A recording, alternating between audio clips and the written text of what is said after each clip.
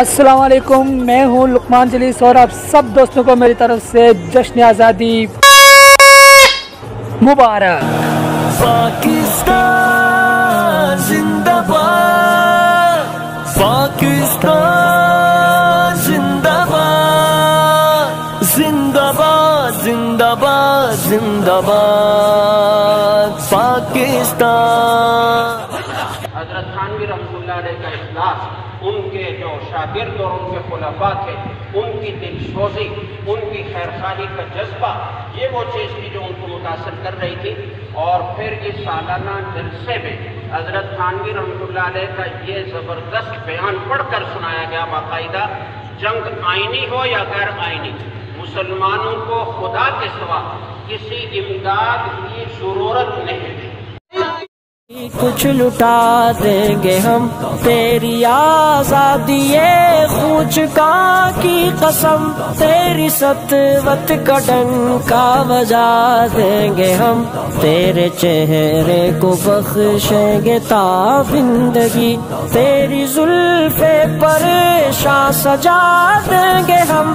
तेरी जुल्फे परेशान सजा देंगे हम। वतन, है वतन है वतन है वतन, दिल की धड़कन में शामिल वतन।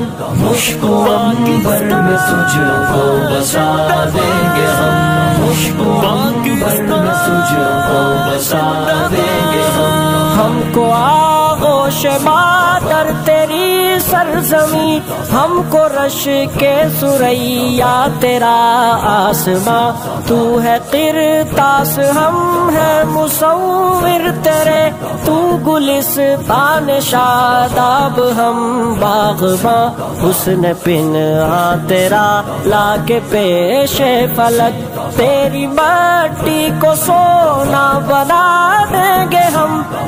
तेरी मट्टी को सोना बना देंगे हम। है वतन है वतन है वतन है वतन है वतन।